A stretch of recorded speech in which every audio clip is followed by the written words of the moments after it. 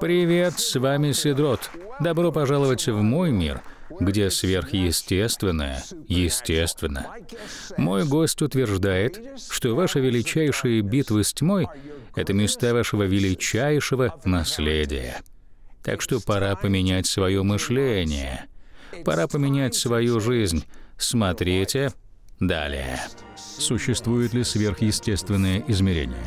Сидрот провел более 40 лет, исследуя странный мир сверхъестественного. Присоединяйтесь к Сиду в этом выпуске программы «Это сверхъестественное». Добро пожаловать, Дух Святой. Приходи и изливайся. Итак, мой гость сегодня — это Кори Рассел. Он вырос в христианской семье. Как и многие христиане, он не пережил опыта познания Бога. В 13 лет в его жизнь пришли наркотики разные случайные связи, но однажды на парковке колледжа произошло нечто удивительное. И что же? Все верно, Сид. В подростковые годы я погрузился во тьму этого мира. Наркотики, секс и соответствующий образ жизни. Я учился в колледже, и моя мама молилась за меня. Мама моего лучшего друга тоже за меня молилась. Они вопрошали, «А вы знали, что они за вас молятся?» «Нет, ни я, ни мой друг. Мы просто ушли с головой в этот мир. Мы ни о чем не догадывались, однако в жизни моего друга наступила пора, когда он стал странно себя вести, и в итоге получил спасение. Две недели спустя он приехал в колледж, где я учился.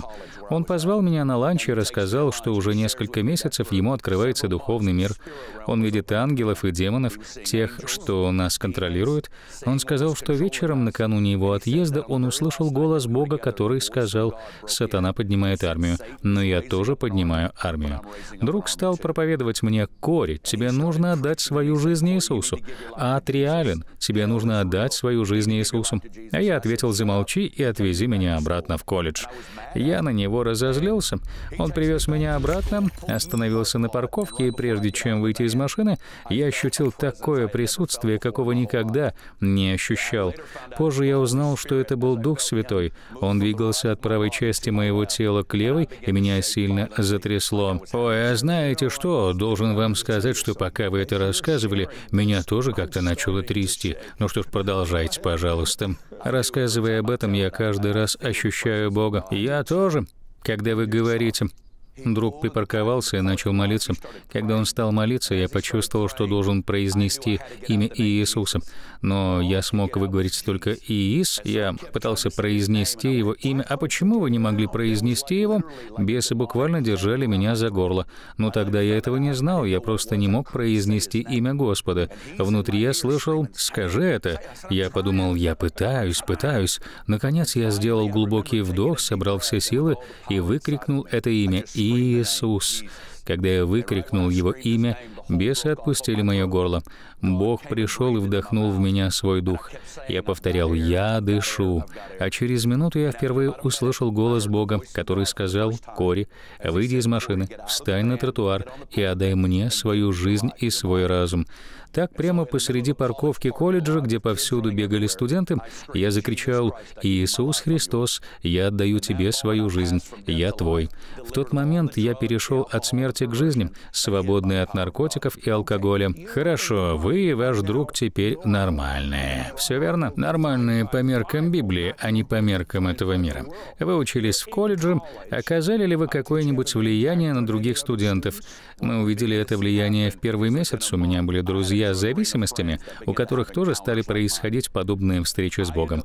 Я привел Господу своего младшего брата, который еще учился в школе. В последующие полгода половина старшеклассников пришли к Иисусу. Мы видели, как в поместной церкви началось движение Бога. У нас проходило пять собраний в неделю. Они длились до трех ночи. Я влюбился в Бога. Мы увидели, как Бог коснулся небольшого города в северо-западном Арканзасе. Жизнь людей меняется вплоть до сегодняшнего дня. Есть человек, о котором многие не слышали. Но он стал очень влиятельным человеком в вашей жизни. Его звали Дэниел Нэш. Сейчас он уже на небесах. Так вот, расскажите мне, пожалуйста, немного об этом человеке. Я женился в 98-м, наша первая дочь родилась в 99-м, вторая в 2003-м, третья в 2010-м. Господь сказал, что у нас скоро появится сын. 26 июня 2012 года у нас родился сын. Мы назвали его Иосия Нэш Рассел в честь Дэниела Нэша. Он был ходатаем у Чарльза Финея во время Второго Великого Пробуждения. Многим людям знакомо имя Чарльза Финея, но мало кто знает о Дэниеле Нэше. Он и еще один человек были предшественниками компании Чарльза Финея. Они снимали подвал за 25 центов в неделю. Позже у женщины, которая была хозяйкой этого дома, взяли интервью. Она рассказала, что слушала, как двое мужчин начинали плакать, стонать и взывать о том, чтобы в их регион пришел Божий пророк прорыв. Они двигались в ходатайстве. Они понимали его принцип. Если вы одержите победу в небесах, тогда Слово Божие придет в силе. Чарльз Финней рассказывал, что Дэниел Нэш всегда приходил в первый вечер кампании этого пробуждения и говорил только одну фразу «Господь пришел». Финей говорил, что Дэниел ни разу не ошибся. Через несколько месяцев после смерти Дэниела Нэша пробуждение Чарльза Финея стало сходить на нет. Дэниел Нэш внес просто огромный вклад в успех пробуждения Чарльза Финея. Это так. Но надо же. В консервативном смысле этого слова это действительно так. А насколько успешным было пробуждение самого Финея, результатом восьминедельного пробуждения в Нью-Йорке стали 500 тысяч новообращенных. Это подтвержденные цифры. 500 тысяч человек. А знаете, что ответил Билли Грэм на вопрос о самом большом своем сожалении? Он сказал, я умножал новообращенных, а не учеников. А что же было с людьми Нэша? Они обрели глубину и характер. Говорят, что 80% обращенных во время пробуждения Финея прошли испытания временем. Они возрастали в знании слова, возрастали в молитве и жили в святости. Я думаю, что Финей понимал связь между молитвой и евангелизмом. Это и принесло такую глубину, благодаря которой люди становились учениками, и они оставались ими. Итак, Кори стал верующим, затем увидел череду удивительных событий. Затем у Кори и его жены начался очень мрачный период в жизни. Расскажите мне об этом, Кори. Как я сказал, мы назвали своего сына Иосианаш. 16 марта 2013 года я служил в Лондоне, в Англии, и проповедовал там Евангелие. На второй вечер я выходил со служения, кто-то принес мне телефон. Я подумал, что нужно помолиться за чего-то друга или родственника. Я взял трубку и услышал, как моя жена сказала, «Наш сын умер». Он скончался. Жена уложила его на дневной сон, и он не проснулся.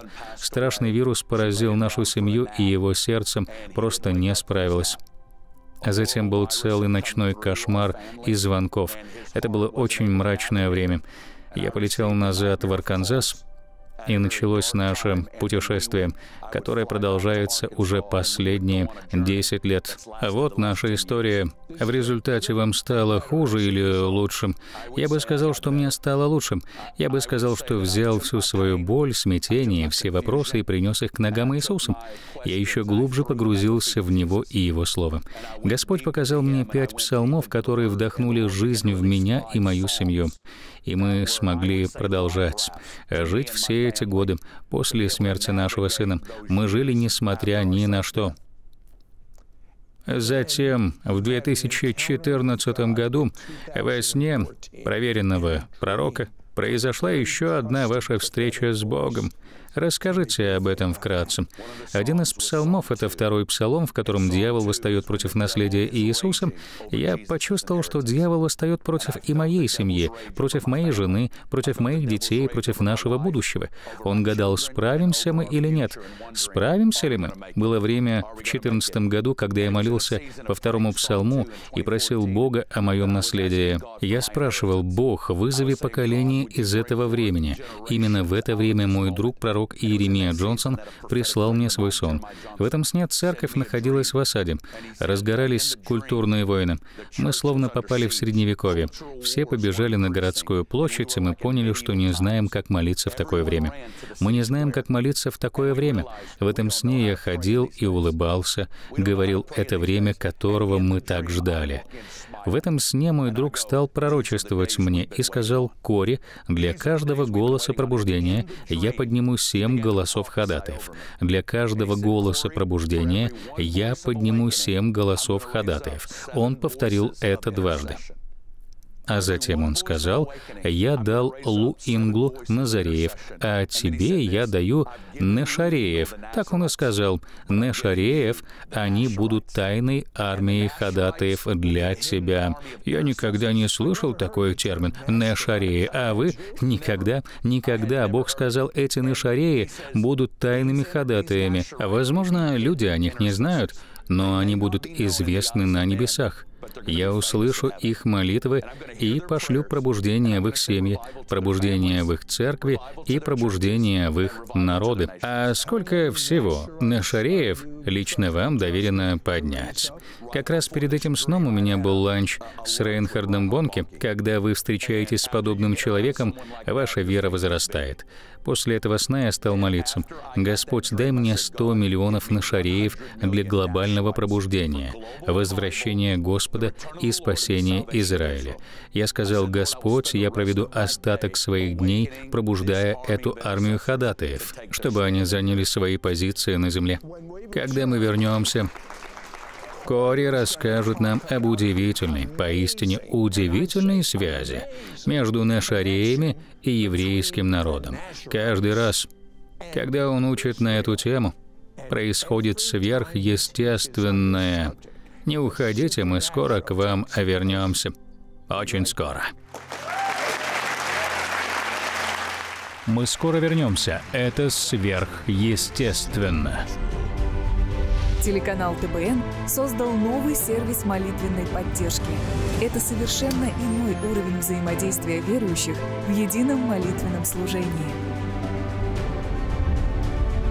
В специально созданном инструменте в Телеграме, где нет ничего лишнего, что будет отвлекать от молитвы, ты сможешь не только попросить о поддержке, но также стать частью глобального молитвенного движения, молясь за других людей – Вместе с тобой молиться за просьбы будут сразу 70 молитвенных групп ТБН из разных церквей по всему лицу земли. Ходатайствуй самостоятельно или вместе с церковью. Господь обязательно благословит тебя. Чтобы воспользоваться новым сервисом, рассказать о своей нужде, засвидетельствовать славу Божью или помолиться за других, переходи по ссылке в описании и следуй инструкциям. Большинство верующих не знают о тронном зале Бога и о том, насколько важно фокусировать свой взгляд на тронном зале. Кори, объясните это. Я изучал второй псалом и вдруг увидел сражение. Я увидел сражение, которое идет за мою семью. Я не знал, как молиться, ощущал хаос, смятение и негодование сил зла. Однако в четвертом стихе второго псалма отец рассматривает точно такую же ситуацию. Там сказано «живущий на небесах посмеется».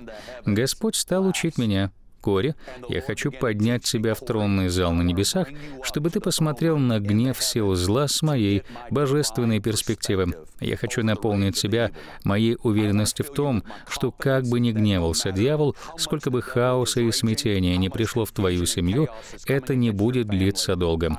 Я хочу научить тебя сидеть рядом со мной, смотреть так, как смотрю я, и говорить штормам так, как говорю я, чтобы в твою семью пришел покой. А вы знали, что в Евангелиях Иисус три раза возводил глаза к небу.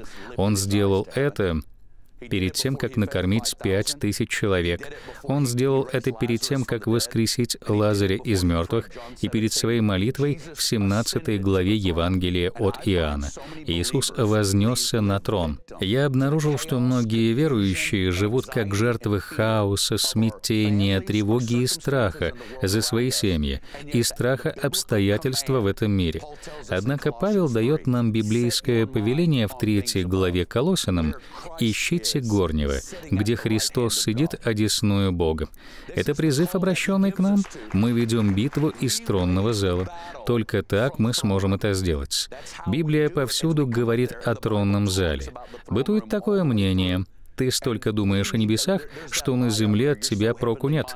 Это абсолютная ложь. На земле от нас не будет никакого проку, пока мы не сконцентрируемся на небесах. Мы берем ресурсы, власть и присутствие тронного зала Божьего и высвобождаем это, чтобы Божье Царство было на земле, как и на небе. Когда вы высвобождаете это, когда вы учите этому, что обычно происходит с группой, которую вы учите? Я часто вижу, что подавленность, депрессия, тяжесть, тревожность и мучения уходят из души и разума людей. Я вижу, как приходит освобождение. Я буквально вижу, как подавленность, которая так гнетет людей и связывает их тревогой за их будущее, уходит, и приходит сверхъестественный покой. Вижу, как к ним возвращается радость, потому что праведность, мир и радость царят в тронном зале. Все эти вещи касаются людей, и я вижу, что они идут в свободе, и это потрясающе. Скоро я попрошу вас учить об этом, а сейчас расскажите нам о двух встречах вашей жены с Богом в 21 году. Я получил слово о нашареях в 14 году, но, честно говоря, моя жена все еще переживала травму и боль из-за потери нашего сына. Я просто проповедовал ей вере, говоря, мы справимся, мы непременно справимся. В 21 году мы были на собрании в Далласе. На выходных Господь начал высвобождать Божий огонь на мою жену. А что это за Божий огонь? Она начала ощущать, как жар растапливает ее холодное сердце. Она буквально почувствовала, как холод, молчание и безразличие ушли, и она вновь могла чувствовать. Она снова начала слышать Бога. На второй вечер этих выходных, перед тем, как лечь спать, она услышала фразу от Господа. Она звучала так «Любишь ли ты меня?»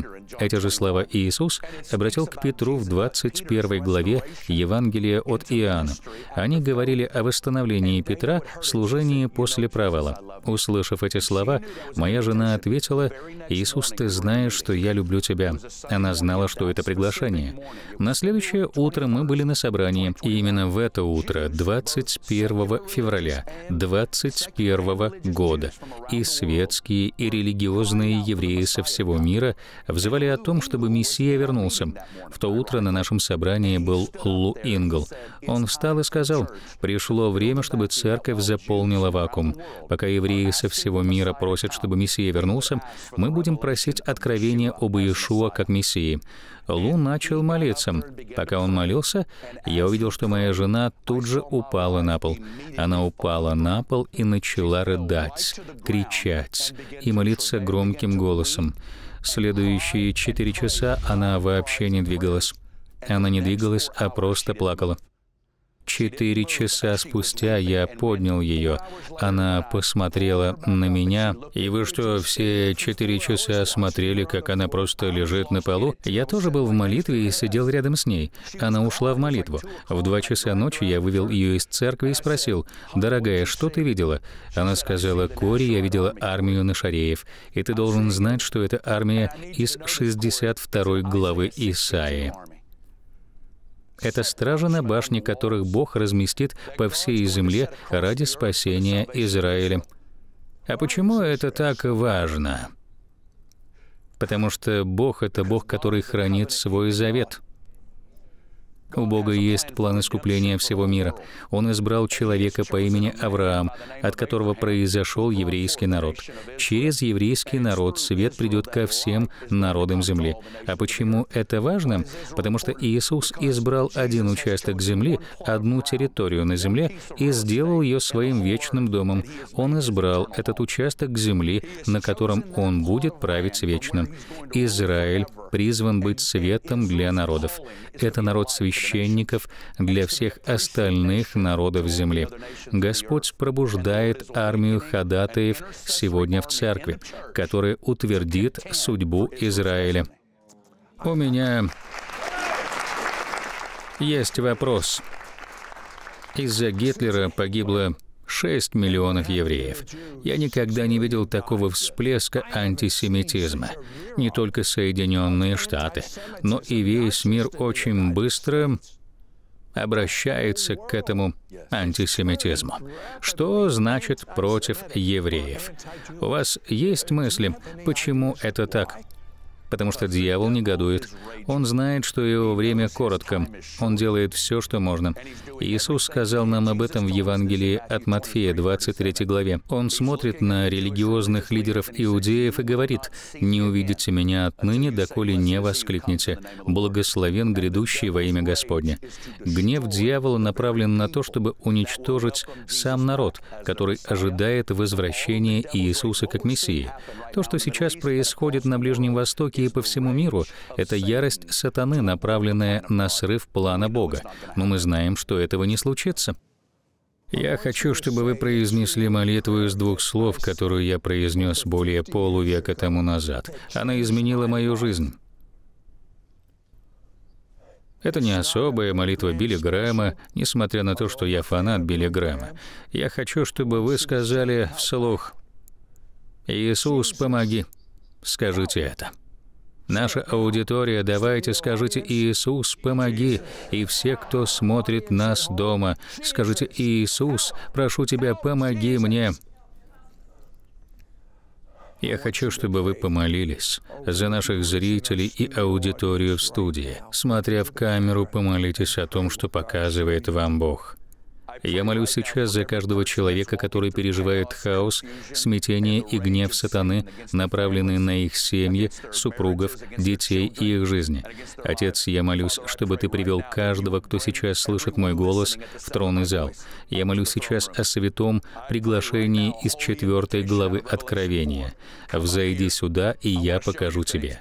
Я разрушаю всякий дух страха, тревожности и мучений, всякий дух страха и мучения.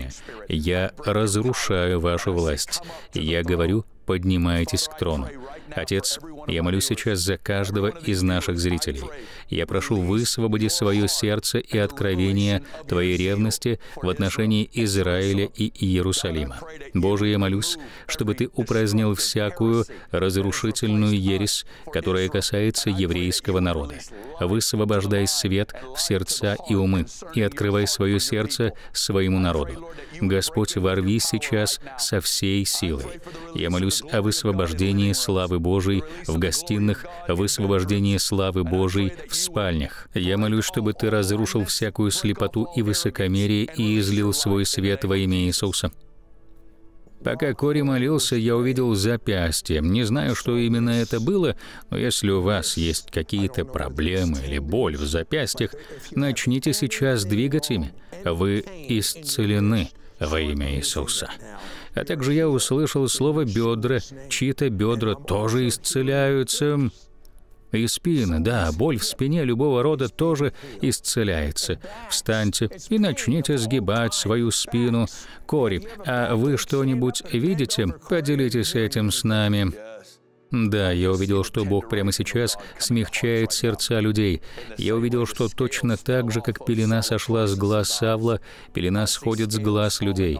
Я увидел, как заблудшие души приходят к спасению во имя Иисуса. Я увидел, что даже верующие, которые не знали, как относится сердце Бога к еврейскому народу, получают откровение.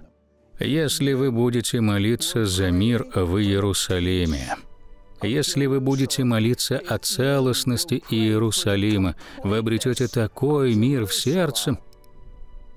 который не сможет забрать ни один человек. Во имя Иешуа Хамашеха я утверждаю это сегодня в вашей жизни. Аминь.